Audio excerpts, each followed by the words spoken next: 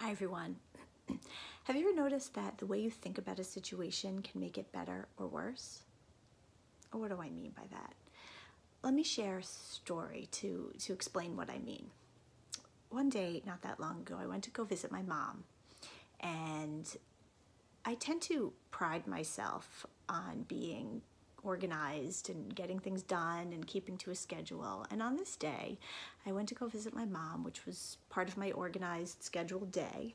And we were having a nice conversation. And all of a sudden, she said to me, When you have a chance, do you think you could go to Costco and get me some more pistachios?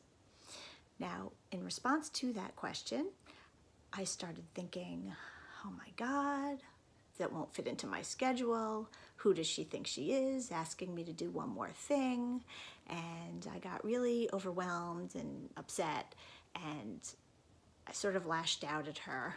And the conversation and the visit suddenly turned out to be a bit negative. Now, it certainly wasn't the question that she posed to me that triggered my re- response. It was what I made that question mean and how it fit into my own personal story. If somebody else had been there, like my sister, or an objective bystander, they would have clearly seen that I was the crazy one in that situation. So, has something like this happened to you? How do you react in certain situations, like when somebody leaves dishes in the kitchen sink, or um, when a child falls at the playground, or when a patient walks in late to the office. Can you see how your reactions are not a result of the circumstance itself, but about your thinking of what the circumstance means? How else could you explain a mother? You could have two mothers, the exact same mothers with the child who's falling on the playground, and one generates thoughts of fear of an accident and starts chasing the kid around and not letting them fall again, and the other one brushes the kid off and lets them run off and, and play again. It's not the fall that created the mother's response, it's what she's making that fall mean. Now, many circumstances in life are not changeable, right? We know we all can't we can't control the weather but it's how you'll respond to that weather that will make the difference. Um, so we often think that we are the victim of circumstance in our lives. And what I'm saying is that we're not a victim of circumstance. What we are a victim of is your thoughts. No matter where you are or what you're faced with, you have the power to make it better or worse based on how you think about it. And that's actually good news because that means that you can actually have some positive impact on your life right now simply by changing your thoughts. So, how do we do that? First, you need to take ownership of the issue. Are you easily annoyed? Are you easily overwhelmed? Um, do you react to people? Uh, do you feel like you're constantly a victim of circumstance? If so, acknowledge that. You are doing this to yourself, so stop blaming the world.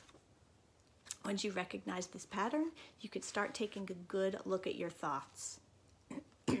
we all have a running dialogue in our heads, it's constant. Look at it. Recognize your thoughts. You are not your thoughts. Don't identify with your thoughts. Write them down. Sometimes it really helps to write them down so you can get some distance from your thoughts. Recognize then what feelings your thoughts are creating and what action you start to take because of those feelings. You don't need to even change your thoughts.